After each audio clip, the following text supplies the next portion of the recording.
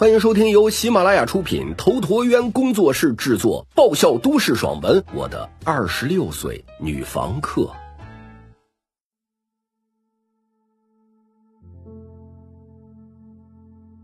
第二十一集。焦虑。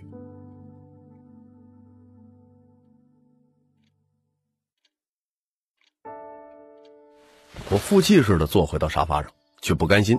他凭什么一副懒得理会我的姿态啊？我是穷，是不怎么有出息，但这不代表我愿意用卑贱去成全他的高姿态。既然活着，我还是很在乎自尊的。我真从厨房找了一只勺子，放在茶几上，用手指拨着勺把，弄得勺子像陀螺似的转了起来。半个小时后，迷彩的房门被打开，他已经换过了衣服。穿着套头的白色珊瑚绒睡衣向卫生间走去，似乎已经打算洗漱休息。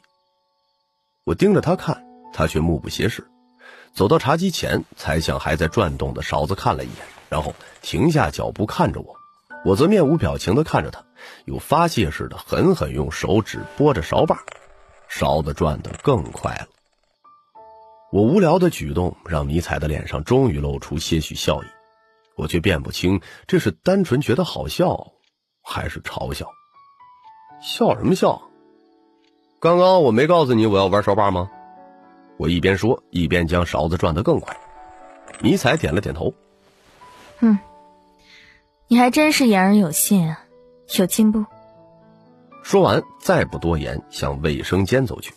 我斜看着迷彩离去的背影，一巴掌将转动的勺把给拍的停了下来。片刻之后，迷彩从卫生间走了出来。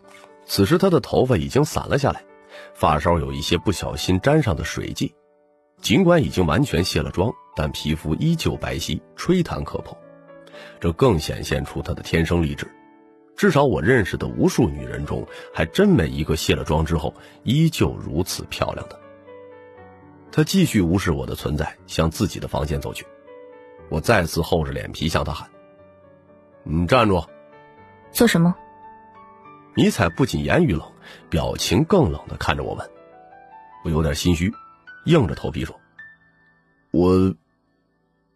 我挺无聊的，你陪我聊会儿天。”找和你一样无聊的人去，我准备休息了。我好似得到了特赦令一样，声调都高了几分。这可是你说的啊！我现在就出去找乐子去。你可以出去，但是得带着你的行李一起。然后就没有必要再回来了。就知道你会掐住我的软肋，拿我找消遣。说真的啊，我过了三年多的租客生涯，什么人都见过，就是没见过你这么拽的房客。对自己的房东，你就不能客气点吗？我带着不满，再次将房客的称谓强行安在迷彩的身上。我也没见过你这么厚脸皮的人。我要是不厚脸皮，早就露宿街头了。这都是被你逼的。我瞪着迷彩，想起这几天的遭遇，心中又是一阵不爽。你不是房东吗？谁敢逼你？迷彩似笑非笑的看着我，言语中却满是讥讽。我手指迷彩，气得肝儿疼。你你你这毒妇！我说自己是房东，不过是想给自己找块遮羞布，你给我留点尊严行吗？穷人的日子苦啊，活得没幸福感啊！你这样的人放在古代就是泼皮刁民，放在现在就是无赖流氓。迷彩瞪了我一眼，说完不愿意再和我纠缠，转身向自己的房间走去。看着被重重关上的房门，我呸了一声，怒道：“呸！资产阶级了不起啊？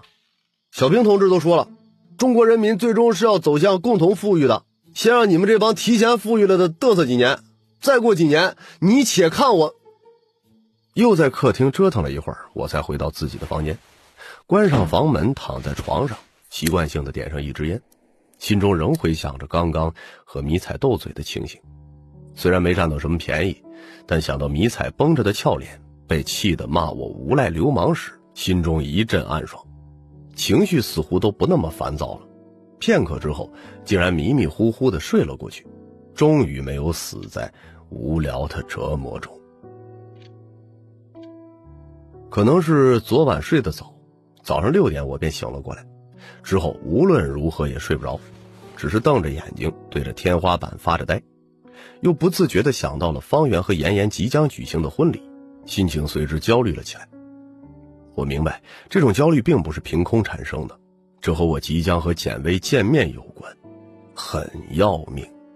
无论我怎么劝慰自己，似乎都不能泰然处之。再者，我也很好奇，我和简薇一样为对方奉献了多年的青春，我因为即将与他相见而焦虑，而他呢，是否和我一样呢？我没有答案，我不能以自己作为衡量简薇的依据。因为有时候女人区别男人，有时候简薇更不等于我。或许三年后再次与我相对，她只当我是个普通朋友，甚至陌生人。天才蒙蒙亮，持续的焦虑下，我不打算再睡。起床简单洗漱之后，准备给自己做一顿早餐。我打开冰箱看了看，前些天板爹带来的咸蛋还有几个，煮上一锅粥，买上几根油条。还算是个不错的早餐搭配。我去楼下的早餐店买了些油条，又去便利店买了几袋榨菜。回来时，锅里煮着的水已经沸腾，将米倒了进去，然后又找来拖把打扫着屋子。一阵冷风忽然从阳台处的窗户口吹了进来，这才发现，原来昨晚我和迷彩都忘记关窗户了，难怪这个早晨比往常都冷了些。此时秋天已经过了一半，早晨的温度很低。我掖着衣服走到阳台，关上了窗户，而清晨的第一缕阳光也透过玻璃折射了进来，慵懒地荡在阳台下的彩叶草上，好似告诉我，这是一个不错的早晨。为了让自己融入这不错的早晨中，我闭上眼睛做了个深呼吸，渐渐的，焦躁的心绪也稍稍安定了些。当我睁开眼，看到了从房间里走出来的迷彩，她依旧穿着睡衣，神态还处于刚刚睡醒的朦胧中。我手撑着拖把，带着轻佻的笑容和迷彩打招呼：“早上好啊，我的女房客。”迷彩似乎已经不愿意纠结我强加给她的房客身份，将自己睡得凌乱的鬓发别在耳后。你一向都起这么早的吗？本集已经播讲完毕，感谢您的收听。更多精彩内容，请在喜马拉雅搜索“头陀渊”。